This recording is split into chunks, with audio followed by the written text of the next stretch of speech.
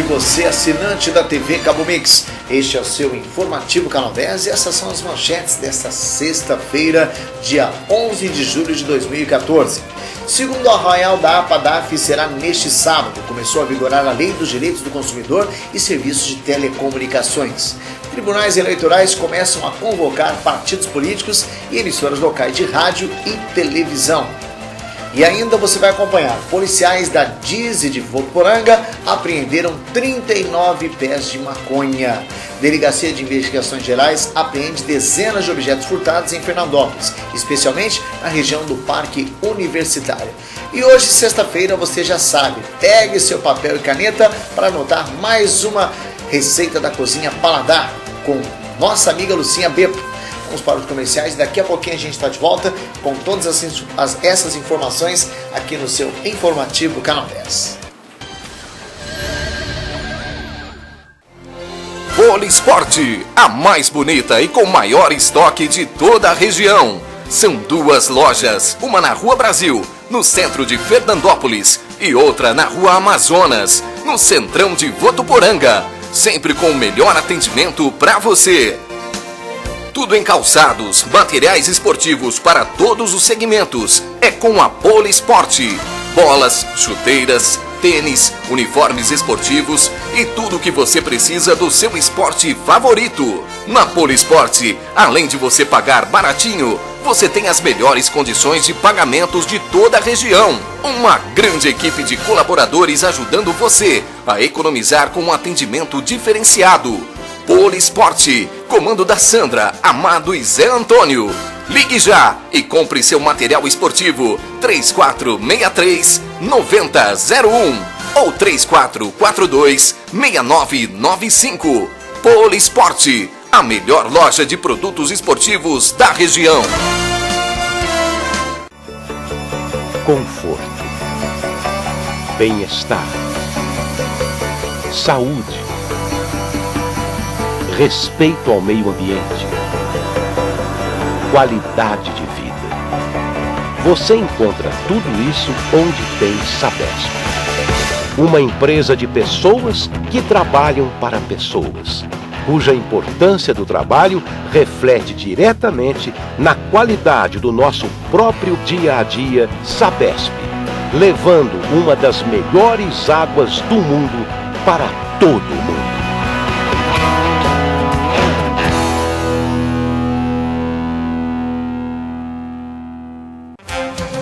Supermercados Pessoto. Pessoto Flex na Avenida dos Arnaldos. Pessoto da Coab Antônio Brandini. E Pessoto Extra no CDH. São três supermercados para melhor lhe atender. Extra qualidade no atendimento diferenciado. Flexibilidade no pagamento. E tudo para fazer você muito mais feliz. Preços baixos todos os dias. Açougue, mercearia, padaria, feirinha e restaurante com o que há de melhor para você. E tem a quarta 10, com promoções de arrepiar. Cheque pré para 60 dias. No Pessoto Flex, Pessoto Extra e Pessoto da Coab Antônio Brandini. Você compra muito mais. Sabe por quê? Porque barato é aqui. Supermercados Pessoto.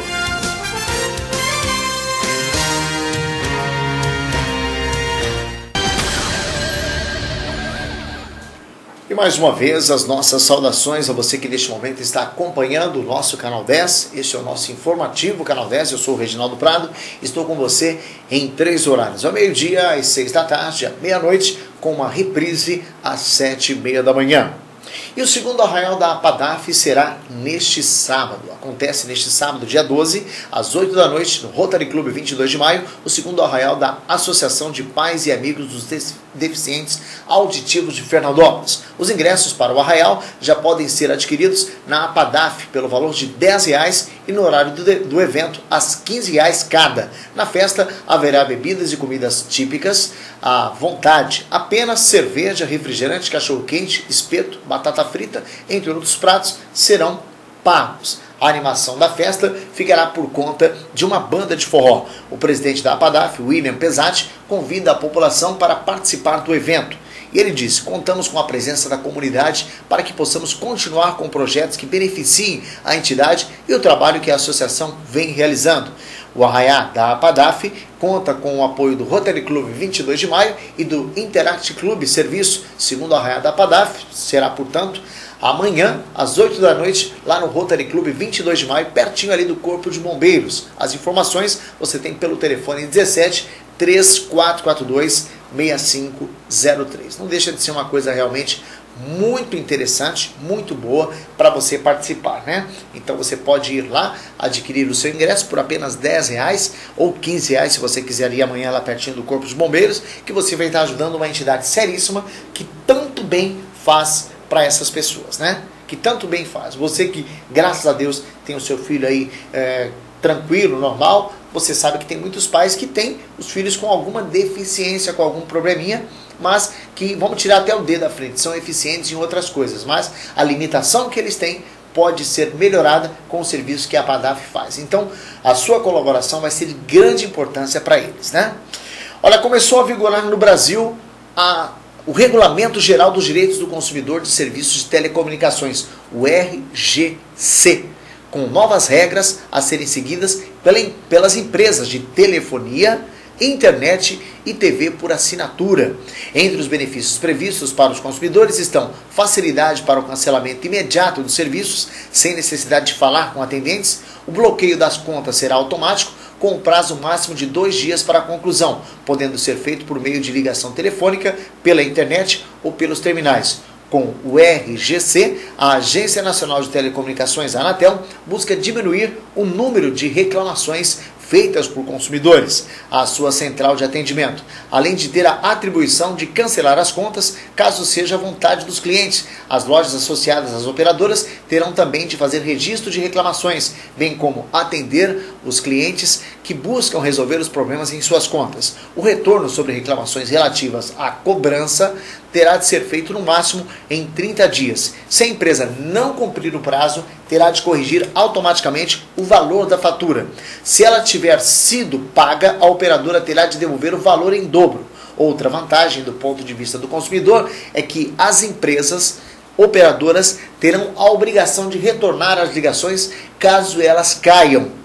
As novas regras fixam ainda uma validade mínima de 30 dias para os créditos das contas pré-pagas. Caberá às empresas informar aos clientes pré-pagos a data de expiração dos créditos e aos pós-pagos que os serviços de mensagem SMS e internet móvel estão próximos de atingir os limites previstos no plano contratado.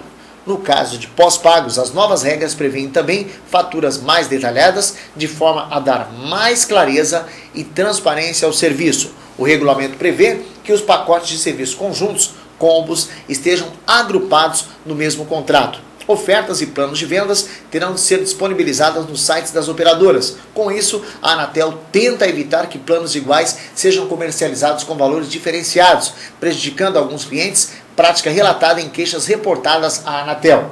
Além disso, os contratos com fidelização terão validade máxima de 12 meses, contratado pela Agência do Brasil. A Oi informou já está implementando as mudanças exigidas pelo novo regulamento. Apesar de considerar alguns prazos incompatíveis com a complexidade das alterações necessárias, a Telefônica Vivo confirmou que está implantando e trabalhando para cumprir as obrigações do novo RGC, com cerca de 200 pessoas engajadas para adaptar os sistemas de atendimento ao cliente às novas regras em um prazo extremamente curto. A Claro igualmente informou que está também implementando a disposição do RGC para cumprir o grande volume de determinações previstas. Já a TIM disse que trabalha para se adequar ao regulamento nos prazos apresentados. Para a TIM, mudanças que reforcem os direitos do consumidor e contribuam para a melhoria da relação entre os clientes e as empresas são sempre benéficas. A GVT informou que está trabalhando intensamente para cumprir as regras previstas, sendo a empresa devido ao grande número de mudanças exigidas e ao curto prazo concedido para sua implementação. Estão sendo feitas várias adequações em todos os sistemas e rotinas de relacionamento ao cliente. A Agência Brasil entrou em contato também com a Sky e com a NET, mas até o fechamento uh, de, desse texto, não houve posicionamento das operadoras sobre os cumprimentos dos novos prazos previstos no RGC. O negócio é se adequar, né, pessoal? Se existem regras para que o cliente, para que o consumidor seja respeitado, que elas sejam cumpridas. A gente é tão desrespeitado em tantas outras coisas, aí, sobretudo pela política, se algum deputado, se alguma, alguma pessoa legisladora faz uma lei para beneficiar a nós, meros consumidores, que ela seja muito bem-vinda, né? E que as operadoras aí, as quatro, cinco, seis operadoras de telefonia celular, de TV por assinatura, que elas se adequem para que possam cada vez mais ter aí a, cada vez mais uma concorrência justa e leal, né? Acho que é muito importante ressaltar que as pessoas hoje têm muito mais acesso a tantas coisas que antes eram inverossímeis. Era coisa para gente rica. E hoje o povão tem acesso à TV por assinatura, grande parte deles. Eu estou chegando na sua casa através de uma TV a cabo, né? É, as pessoas, eu estou chegando na, no seu computador através de uma internet que você tem. Então, isso acontece por quê? Porque existe uma facilidade para que as pessoas entrem. Mas muito mais do que a facilidade, tem que haver o quê? Qualidade acima de tudo, né?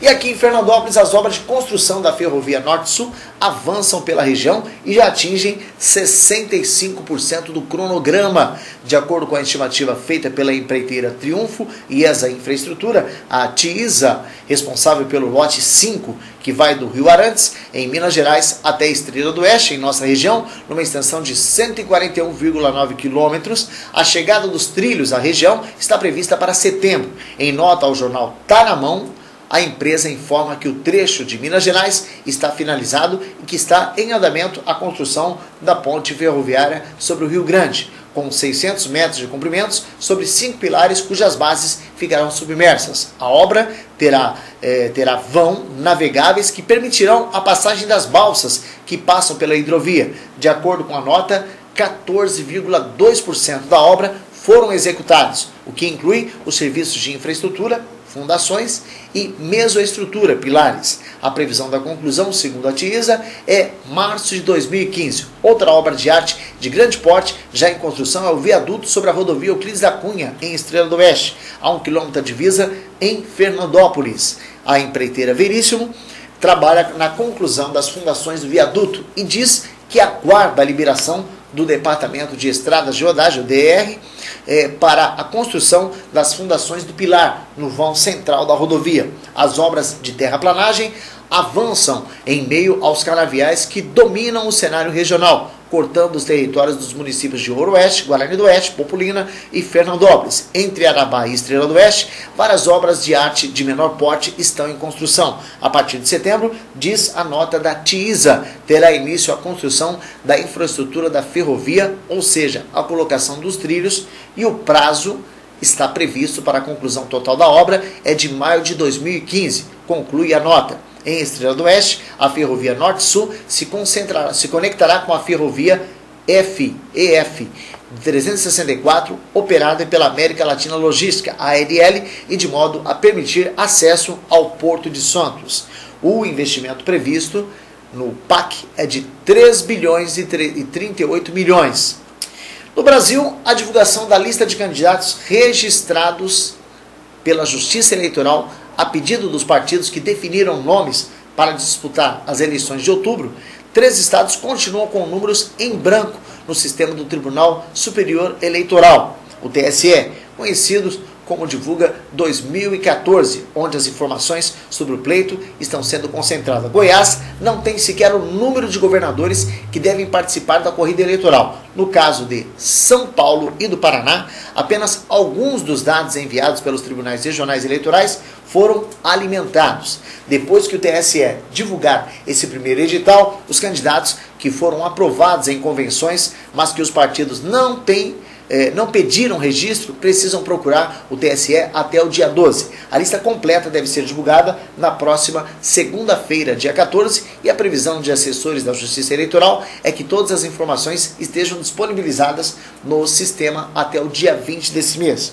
Os pedidos de registro de candidatura à presidência da República, que são encaminhados ao TSE, somaram 11 chapas. O prazo legal para esse requerimento venceu no último sábado, dia 5. O registro dos governadores e vice-senadores suplentes, deputado federal, deputado estadual e distritais, foram apresentados nos tribunais regionais eleitorais, o TRS, até a final da manhã do último dia 9. Alagoas despontava com o maior número de candidatos ao governador, ao governo do estado de São Paulo, com nove nomes. Na corrida pelo Senado, o Pará é o estado que, por enquanto, lidera o volume de candidaturas, com 11 nomes, seguido pelo Amapá, com 10. Entre os estados com maior número de candidatos a deputado federal está o Rio de Janeiro, 996, Minas Gerais, 635. O Rio de Janeiro também é o estado com o maior número de candidatos a deputado estadual, 1.718.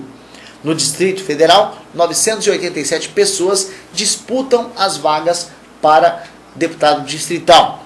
Como os números ainda estão sendo carregados, o ranking de candidatos deve mudar nas próximas semanas. A Justiça Eleitoral já dividiu entre os 32 partidos registrados no TSE o total do fundo partidário formado por dinheiro de dotações orçamentárias da União, recurso financeiro destinado por lei e por doações de pessoa física ou judicial.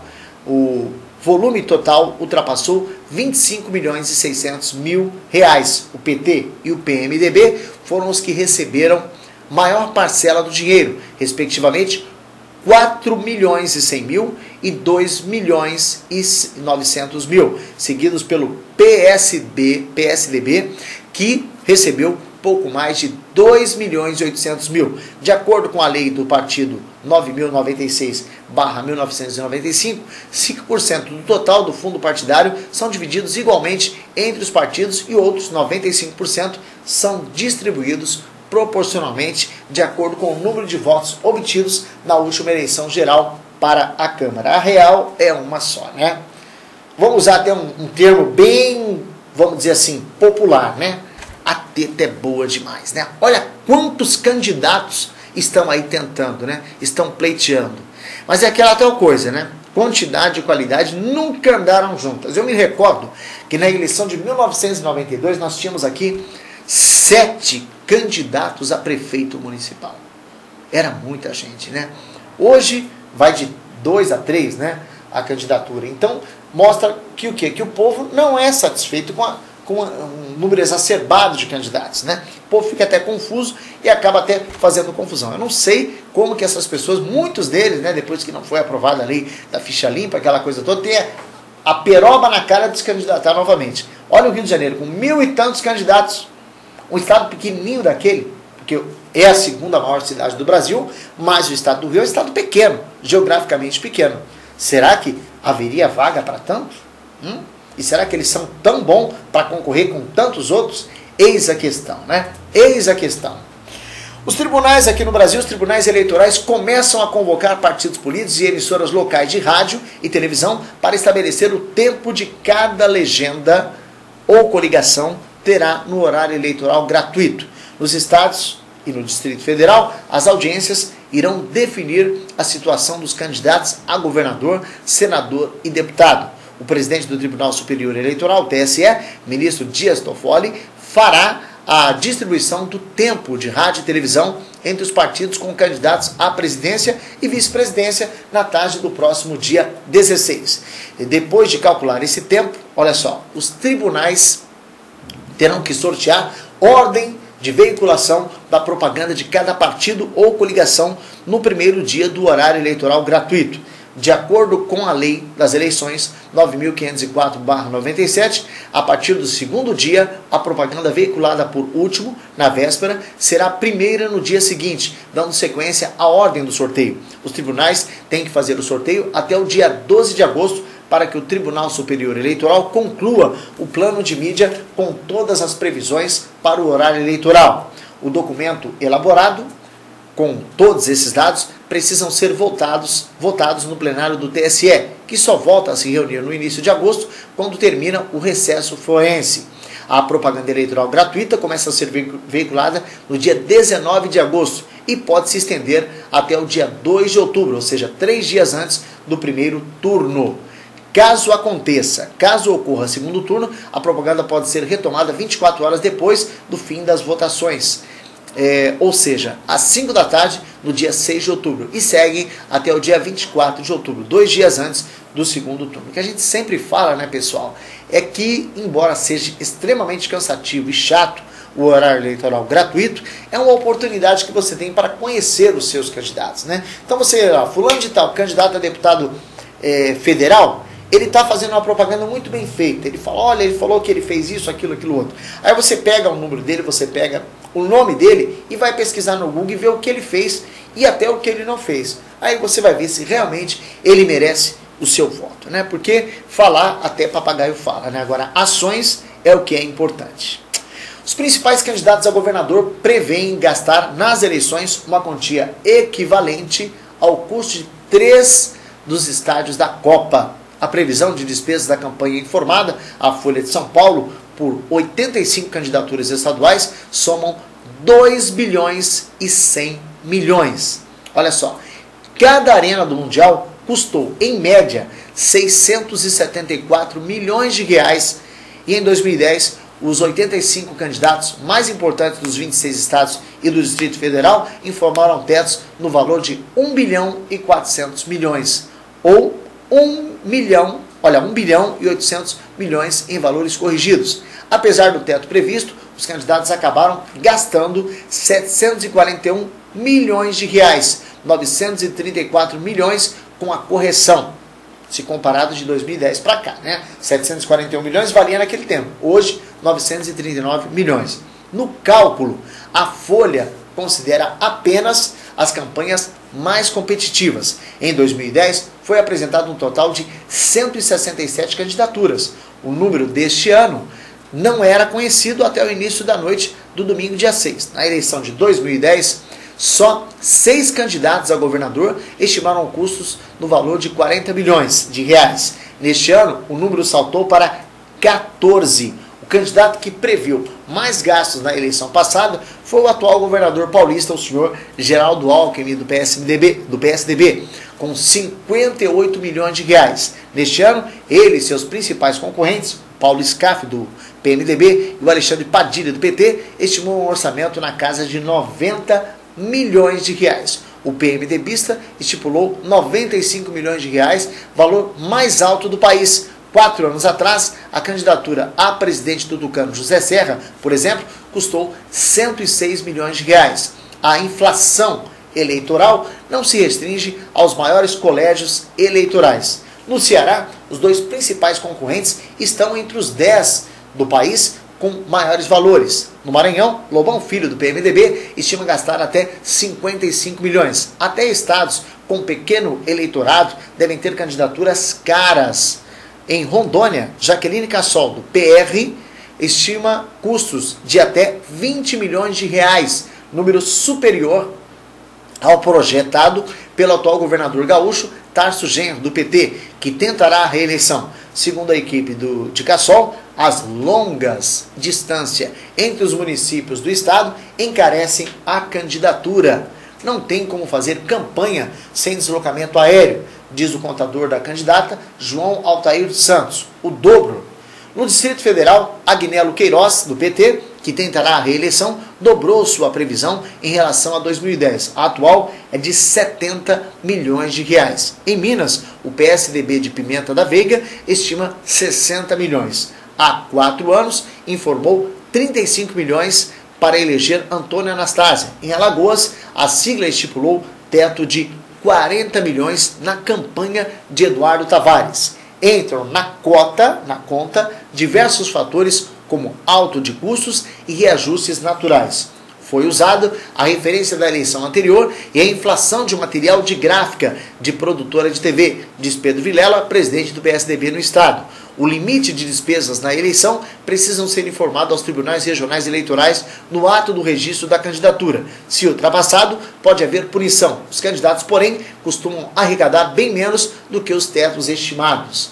É, a legislação prevê que o Congresso fiche um limite de gastos, mas essa média não costuma ser adotada. Né? Vamos ver o que, que vai acontecer. Né? Ainda no Brasil, foi sancionada no fim do mês passado a Lei Complementar 146-14, que garante estabilidade provisória no emprego para quem obtiver a guarda de criança recém-nascida que ficou órfão de mãe. O titular da guarda terá direito à mesma estabilidade garantida às mães, que é de cinco meses após o nascimento do bebê. A regra vale, inclusive, se a guarda ficar com o pai ou outro familiar da criança. A lei foi proposta em 1999 pela então deputada Nair Xavier Lobo, de Goiás. O deputado Jaime Martins, do PSD de Minas Gerais, e relator do texto na Câmara, lembra que o projeto original também pedia uma licença igual à licença gestante para o detentor da guarda, mas isso foi retirado por uma questão jurídica. Nós sabemos que também é importante aprovar a licença gestante para aquele que detiver a guarda do filho quando a sua genitora vier a falecer. Entretanto, terá que ser disciplinada por outro projeto de lei, porque a sua tramitação é por lei ordinária, explica o parlamentar Rodrigo da Cunha Pereira, presidente do Instituto Brasileiro de Direito de Família. Afirma que a ampliação da proteção à criança é uma tendência mundial. Ele disse: Eu acredito, inclusive, que as outras leis virão ampliando esta proteção à criança, no sentido de que os cuidadores possam não só ter mais estabilidade no emprego, mas ter mais flexibilidade e serem liberados no horário de trabalho para que possam cuidar de seus filhos, sejam eles biológicos, adotados ou para quem tiver a guarda, né? E aqui no Brasil, a Comissão de Meio Ambiente e Desenvolvimento Sustentável aprovou na quarta-feira, dia 2, o projeto de lei 6080-13 do deputado Junji Abe, do PSD de São Paulo, que proíbe veículos estacionados em vias públicas em áreas particulares de emitir sons e ruídos em volumes acima do nível permitido pela legislação vigente. Enquadram-se na proibição de sons de qualquer natureza e tipo, especialmente em horário noturno, incluindo buzinas nos casos em que não se caracterize como advertência no trânsito. A proposta exclui da proibição veículos profissionais, publicitários em movimento e os utilizados em manifestações culturais, sindicais e populares. O texto determina a apreensão provisória de veículos ou aparelhagem de som em caso de recusa na ordem de baixar o som. Pelo projeto, o proprietário do veículo será responsável pelas eventuais custas de remoção e estadia, penalidade. O relator deputado do PSD do Rio de Janeiro, Felipe Borner, defendeu a aprovação do projeto. O parlamentar apresentou emenda que estabelece que a aplicação das penas por infração administrativa previstas nos projetos e na Lei de Crimes Ambientais, a Lei 9.605-98, como multa simples, multa diária e apreensão de equipamentos e veículos, possa ocorrer sem prejuízo de outras penalidades aplicáveis. Segundo Bornier, as novas medidas vão permitir que tanto os agentes policiais quanto os órgãos de fiscalização ambiental possam atuar contra a violação aos padrões de emissão de decibéis estabelecido. Tramitação, o projeto que tramita em caráter eh, será analisado ainda pela Comissão de Constituição e Justiça e Cidadania. Eu acho super válida eu acho que está mais do que na hora de se punir, sim, esses idiotas que ligam o som perto da calçada da sua casa e te atrapalha ver uma televisão. A mãe que tem o filhinho dormindo, né? Às vezes fica até constrangida de falar com aquela topeira que não sabe onde, onde enfia o som, né? E, e já, já arregaça a maritaca ali na frente dos outros. Vamos respeitar. O teu limite termina, sua besta, quando começa o do outro. Tem que parar com essa mania de ficar ligando o som, comendo o som Pode ser nessa câmera aqui, Léo? Vamos lá, vamos ligar aqui para dar uma bronca, né? Nessas topeiras que não sabe que o limite dele termina quando começa o do outro, né?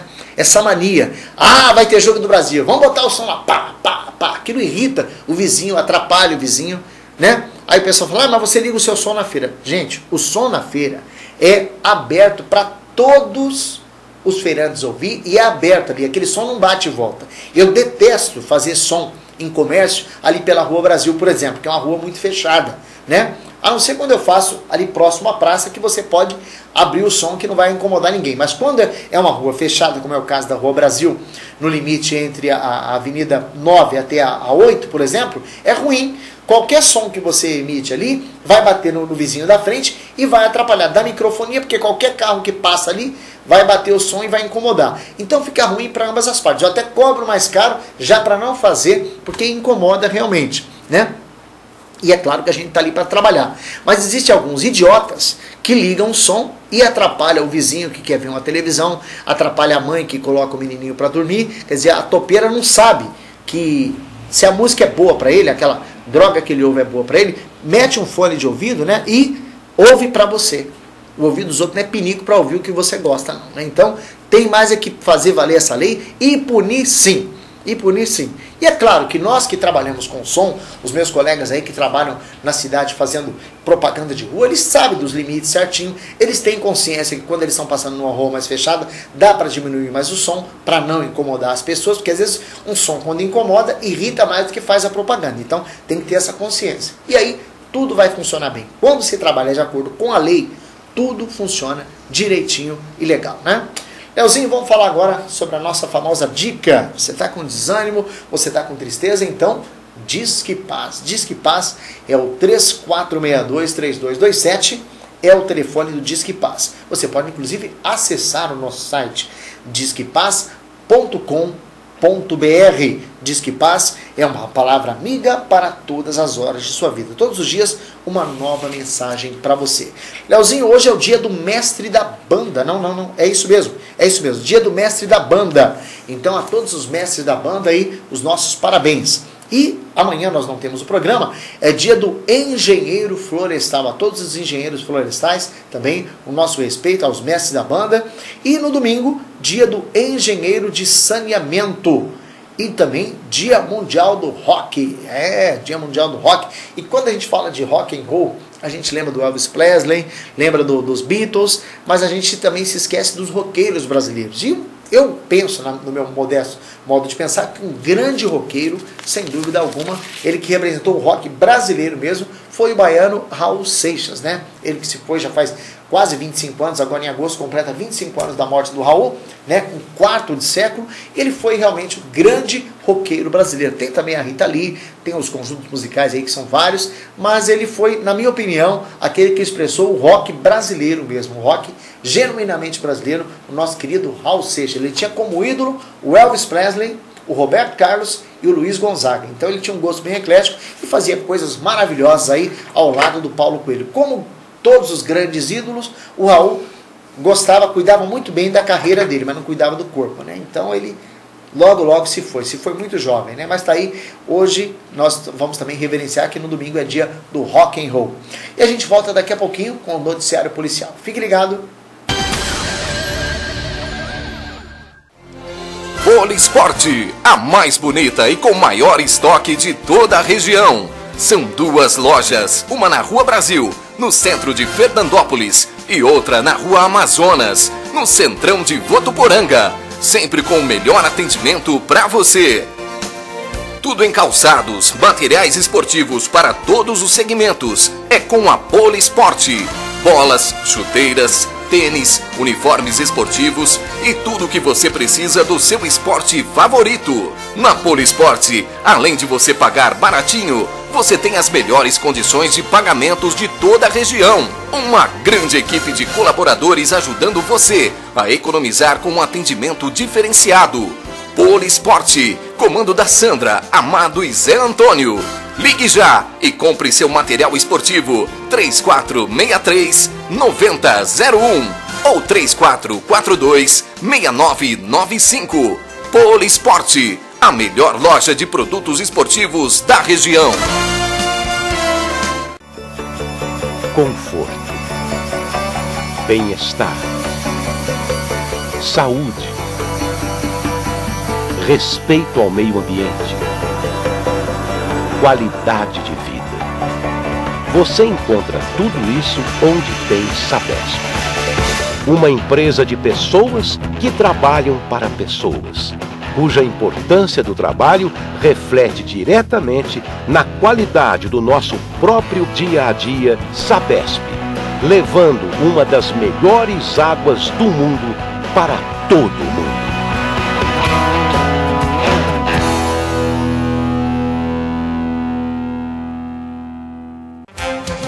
Supermercados Pessoto. Pessoto Flex na Avenida dos Arnaldos. Pessoto da Coab Antônio Brandini. E Pessoto Extra no CDH. São três supermercados para melhor lhe atender.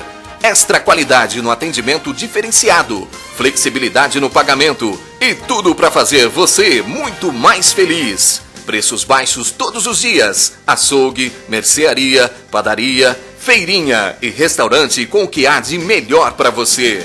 E tem a quarta 10, com promoções de arrepiar, cheque pré para 60 dias. No Pessoto Flex, Pessoto Extra e Pessoto da Coab Antônio Brandini. Você compra muito mais, sabe por quê? Porque barato é aqui. Supermercados Pessoto.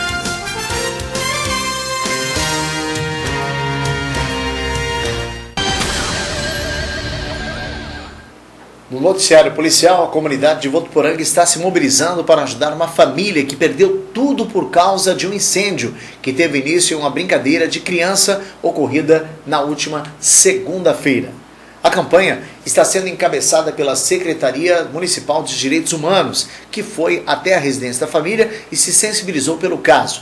Malvina de Jesus da Silva e o esposo Elias dos Santos Crolim são deficientes auditivos. E ontem, pela manhã, anteontem pela manhã, o seu filho de 8 anos de idade brincava dentro da casa com uma palha de aço, bombril, e sem querer atirou fogo no colchão e o incêndio tomou conta, queimando camas, guarda-roupas e todos os utensílios da residência. Conforme o secretário Emerson Pereira, os pais da criança são deficientes auditivos e precisam de doação, como roupas para eles e as crianças, uma de 8 e outra de 9 anos. Nossa equipe da Secretaria dos Direitos Humanos de Votuporanga esteve acompanhando o caso e viu a necessidade de apoio. A família precisa da doação de duas camas de solteiros e uma de casal, e dois colchões de solteiros e um colchão de casal. Doações podem ser feitas pelo 34222770, falar com a Cidinha Madri ou Dirceu Vieira. Sobre doações, iremos buscar.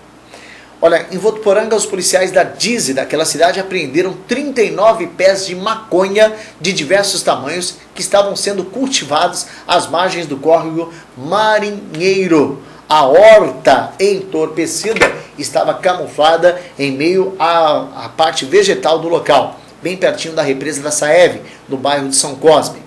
Há alguns dias, os policiais haviam localizado a plantação e, após recebimento de denúncias anônimas, eles realizaram campanas, objetivando identificar o autor. Porém, como não foi possível resolver, resolveram então efetuar a extração das plantas e destruição do local. A plantação era composta por um canteiro dotado de irrigação e a cobertura da tela própria para a horta e o outro canteiro pronto. É, e outro canteiro também pronto para nova implantação. Foi elaborado os procedimentos da Polícia Judiciária, sendo os pés de maconha encaminhados à perícia. Em Fernandópolis, a Delegacia de Investigações Gerais, a DIG, fez a apreensão de dezenas de objetos furtados de residência, especialmente na região do bairro Universitário, mais de uma centena de objetos estão na DIG e aguardam as vítimas para reconhecimento. Entre os objetos recuperados estão aparelhos de TV de plasma, tênis, notebooks, joias, bijuterias, relógios, aparelhos celulares, forno micro-ondas, liquidificador, roupas, som e até dois aeromodelos, um avião e um helicóptero. Olha que coisa, hein? A apreensão ocorreu durante a operação há 15 dias, quando foram detidos três pessoas. WD, SAD e um menor de idade com um Celta cor prata. Esse veículo vinha sendo objeto de investigação pela DIG sob suspeita de estar sendo utilizado para a prática do crime. No veículo foram apreendidos vários objetos. A partir deste fato, a DIG esteve de mandado de busca e apreensão e conseguiu recuperar outros produtos de furtos que já tinham sido levados na cidade de Barretos. Como não foram presos em flagrante, os três foram liberados, mas segundo eh, a DIG, WD foi preso em Barretos acusado de roubo. Uma sala da DIG está repleta de objetos recuperados e aguarda que as vítimas possam fazer reconhecimentos. A DIG também divulgou que dois motores de polpa da marca Yamaha branco foram recuperados e aguardam reconhecimento pelos donos. A DIG em Fernandópolis está localizada lá na Minas Gerais, 1185 no centro. Então, se você foi vítima aí, né, de furtos, né, se você foi vítima de furtos, você morador aí, especialmente do parque universitário, pode ir lá na DIG, né, e reconhecer de repente o seu objeto pode ter sido recuperado, assim espero, né?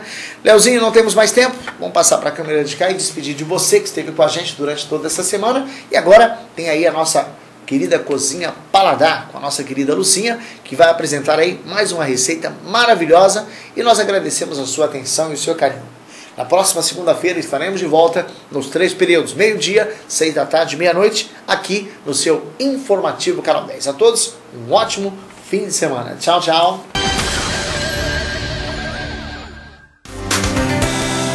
A partir de agora, você vai assistir aqui no seu canal 10 o programa de culinária Cozinha do Paladar. Oferecimento. A Casa de Carnes do Pardal só trabalha com carnes selecionadas e inspecionadas para sua segurança e para o seu paladar mais requintado. Temos bebidas, carvão para churrasco e mercearia. Venha conhecer nossa linguiça cuiabana. Casa de Carnes do Pardal, na rua Pernambuco 3630. Telefone 3442-3141, Fernandópolis. Casa de Carnes do Pardal, de cara nova para melhor atender você. E agora também, carnes e frangos assados todo final de semana. Casa de Carnes do Pardal. Restaurante Paladar. O lugar de se comer bem todos os dias. Mais de 30 pratos quentes e frios, diferentes a cada dia. Nosso buffet serve festas na cidade e região. Temos também café da manhã, restaurante Paladar, na Expedicionários, no centro de Fernandópolis.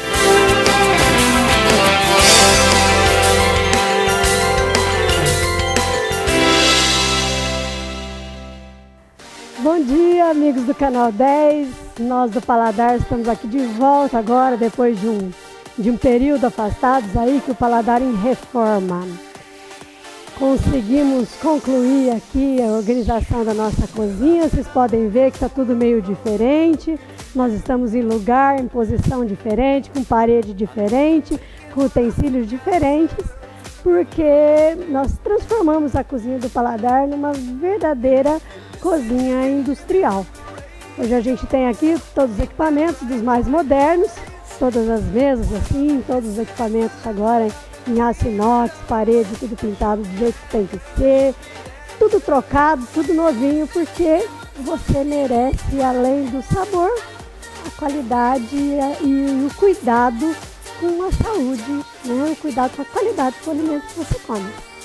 E nós estamos aqui de novo para continuar aí nosso, nosso trabalho de passar para vocês algumas receitas e algumas das coisas que é, são apreciadas aqui no Paladar. Eu estou hoje aqui com a Dirce. A Dirce é a nossa, nossa funcionária mais ilustre e mais antiga. Ela começou a trabalhar no Paladar, para vocês terem ideia, antes mesmo da primeira refeição ser preparada. Então ela tem mais de 18 anos de casa e é considerada a joia rara aqui do Paladar. Né? Ela, pelas mãos dela, passa muitas das receitas que você experimentou e que você gosta. Então a Dirce hoje vai me ajudar e ela fugiu um pouquinho da raia, porque na verdade ela ia apresentar o programa sozinha. Mas ainda, ela ainda vai conseguir, ela vai se soltando ainda, vai conseguir fazer isso. E aí, para a gente retomar esse ciclo aí de receitas, nós preparamos, vamos começar a preparar numa série de programas agora um, um cardápio completo. Hoje então a gente vai começar por uma salada. Essa salada tem feito maior sucesso e é por isso que eu queria compartilhar com vocês essa receita. É um salpicão de pera. Salpicão de pera é uma salada que mistura o doce da fruta é, com o salgado de um peito de peru defumado. Então isso, no re resultado final, é muito agradável ao paladar. Além de acompanhar uma série de pratos. Né? Você pode fazer a salada para acompanhar desde o churrasquinho do fim de tarde até um prato mais sofisticado, à base de filé, à base de peixe, à base de salmão, aquilo que você preferir. Então, uma salada bem requintada e que tem agradado bastante, por isso que nós vamos compartilhar com vocês essa receita. Para isso, nós vamos usar quatro peras, peras comuns, se você preferir, pera portuguesa, é, é, depende da sua preferência, mas peras comuns são quatro. Duas bananas nanicas, médias, 100 gramas, 100 gramas ou 6 fatias de peito de peru defumado. Nós vamos usar castanha de caju, aquela cortada grosso, ou se você preferir ainda mais grossa, você mesmo pode comprar ela inteira e picotar na tábua.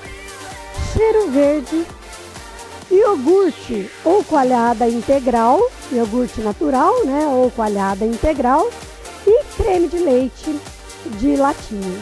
Para essa receita nós vamos é, utilizar todos esses ingredientes aqui. Então a pera ela é cortada com casca e tudo. Eu vou pedir a Dirce vai me ajudar lá na outra tábua a cortar as outras duas para a gente ser, não perder tanto tempo. E a a pera a gente vai utilizar com a casca e tudo. Tirar somente o miolo. Não é preciso ser uma pera muito madura, ela pode ser uma pera firme. Isso também dá uma consistência melhor na salada.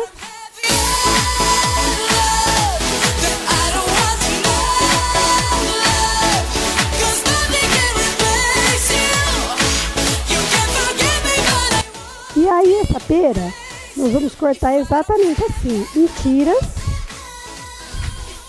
E depois, como diria minha mãe, é de fianco, né? Ou na cozinha a gente chama a julienne, que é em tirinhas.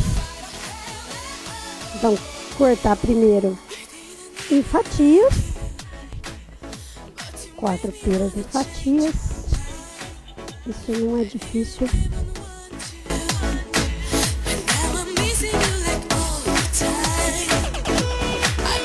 Essa salada é boa porque é muito rapidinho de fazer. Qualquer um pode fazer e no instante ela está pronta.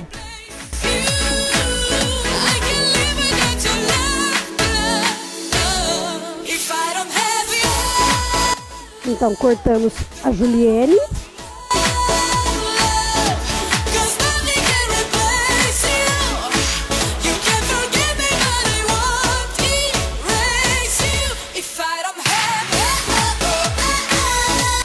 Nós estamos também com a proposta de estar tá aí incrementando, implantando novas receitas aqui ao nosso cardápio. Aliás, se alguém depois tiver alguma sugestão para fazer para gente, pode estar tá aí sugerindo, pedindo algum prato que a gente pode estar tá ajudando a, a preparar e partilhando com outras pessoas aqui a experiência e o sabor também das pessoas que nos assistem, né?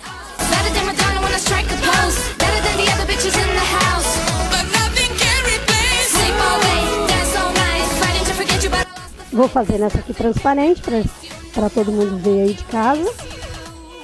Opa, tem um pedacinho maior aqui que foi cortado.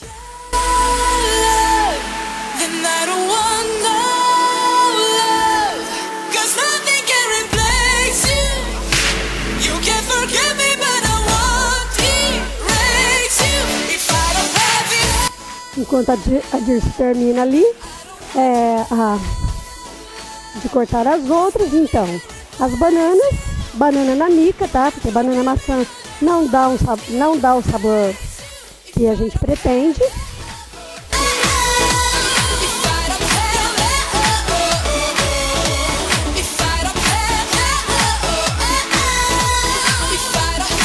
E aí rodelas não muito finas.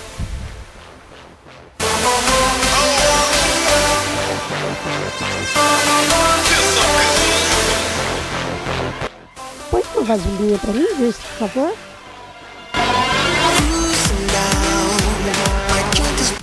Então, cortei duas bananas.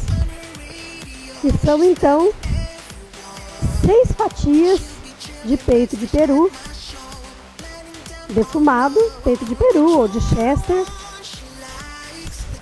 3, 4, 5, 6 fatias de peito de chester. Aqui então o restante da pera.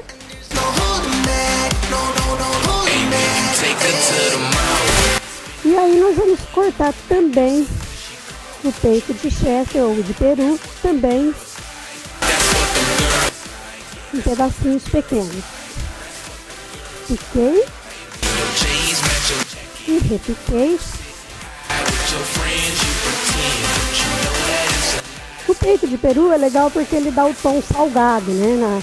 Na, na salada. Não fica parecendo assim uma salada de frutas. Mas se percebe que é uma salada para comer com, com, com a refeição. Aqui nós vamos usar duas colheres de castanha de caju na receita, duas colheres de cheiro verde. Na receita. Lá, por favor. E aí então,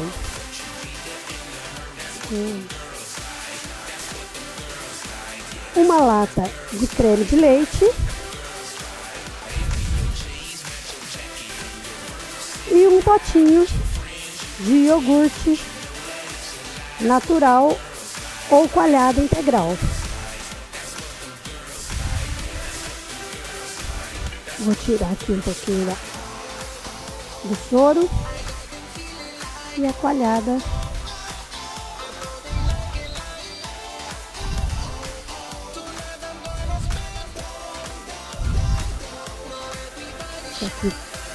tudo junto e misturado.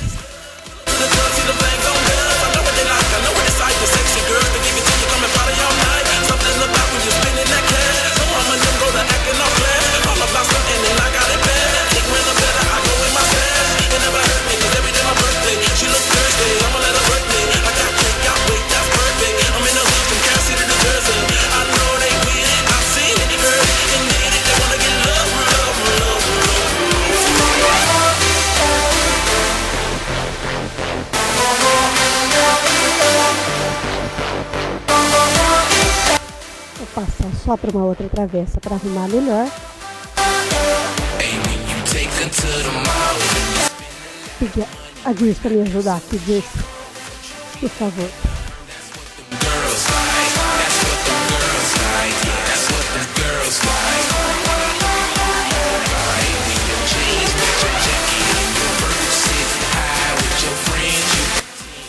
Para decorar, um pouquinho mais de castanha de caju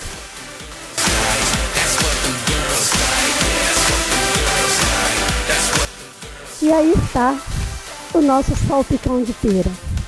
Muito fácil de preparar, muito fácil de preparar, delicioso para comer, barato de fazer. São quatro peras, duas bananas nanicas, seis fatias de peito de peru ou peito de chester defumado, Castanha de caju, duas colheres de castanha de caju e mais um pouco para decoração. Um pote de iogurte ou coalhada integral. Um, uma lata de creme de leite. A gente mistura tudo e esse prato pode acompanhar carnes e peixes tranquilamente. Eu e a Dirce companheira de cozinha de 18 anos aqui do Paladar, estamos de volta para trazer para vocês os melhores sabores da casa. Obrigado pela companhia. Semana que vem a gente está de volta. Você assistiu aqui no seu canal 10 o programa de culinária Cozinha do Paladar. Esperamos que tenha gostado e aprendido algumas de nossas receitas. Foi um oferecimento.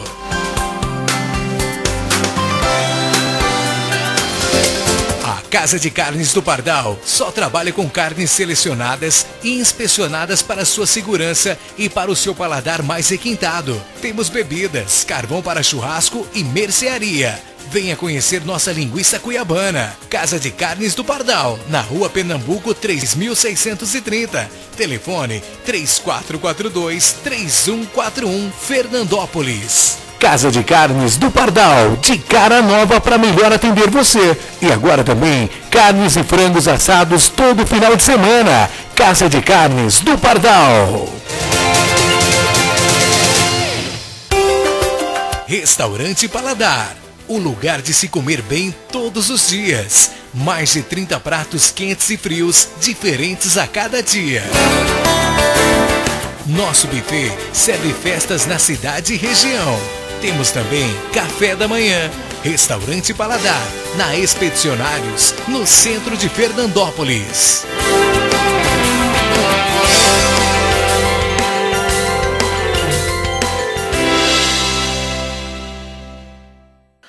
Quer receber a sua revista Clube do Esporte com toda a comodidade na sua casa? Faça já a sua assinatura da melhor revista de esporte de toda a região. No telefone 17 99 727 2852 ou mande um e-mail para revista Clube do Esporte gmail.com com os seguintes dados: nome, endereço, telefone e e-mail de contato. E também no site www.clubedoesporte.com. Corra e garanta já a sua assinatura e fique por dentro de tudo o que acontece no esporte e demais eventos das regiões de Fernandópolis, Votuporanga, Jales e Santa Fé do Sul. Ligue já 99727 2852 ou acessem o site www.clubedoesporte.com. Revista Clube do Esporte, a única que chega onde as outras não chegam.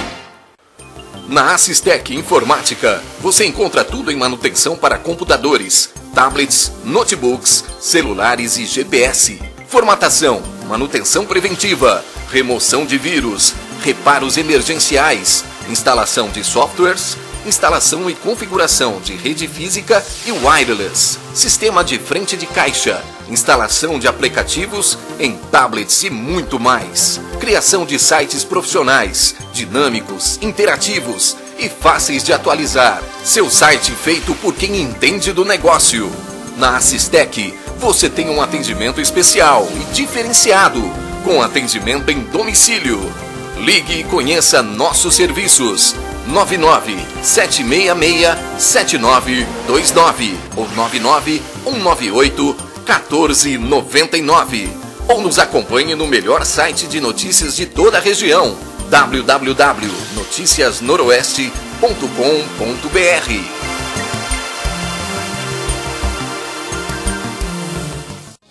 Alfaiataria Ramos. O melhor da alta costura masculina. Confecções sob medida, experiência e qualidade juntas para lhe proporcionar o melhor em roupas de gala.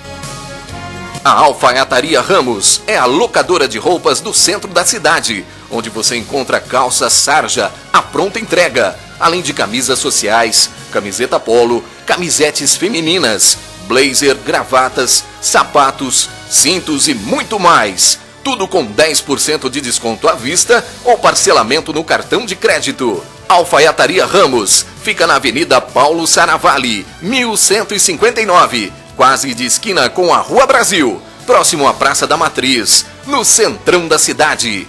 Alfaiataria Ramos. Telefone 3442 5835. 3442 5835. Falou em roupas. Falou Alfaiataria Ramos.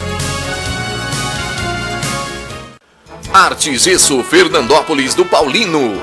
Forro de gesso, divisórias, decoração, sancas, molduras e tudo o que você imagina em gesso para sua construção, residência e comércio. O melhor em acabamento é com a Arte Gesso Fernandópolis. Na rua Belarmino Tomás de Souza, 61, Jardim Paraíso. Falou em gesso, o negócio é Arte Gesso Fernandópolis. Fale com o Paulino 3442 5518. Arte Gesso Fernandópolis. Clima Code ar condicionado, climatizando com estilo. Na Clima Code você encontra os melhores ar condicionados do mercado as melhores marcas, os melhores modelos e com atendimento personalizado. Na Clima Code você tem uma equipe especializada, com técnicos responsáveis e os melhores serviços de toda a região. Na Clima Code, a manutenção do seu ar-condicionado é realizada com rapidez e qualidade. Vai ficar passando calor? Venha já para Clima Code Ar-Condicionado, na Avenida da Saudade 282, bairro Higienópolis sob a direção do amigo Jefferson. Clima Code Ar Condicionado 3442 7088 ou 99628 6060 ou ainda acesse o site www.climacode.net. Chega de calor. Venha para Clima Cold Ar Condicionado. Climatizando com estilo.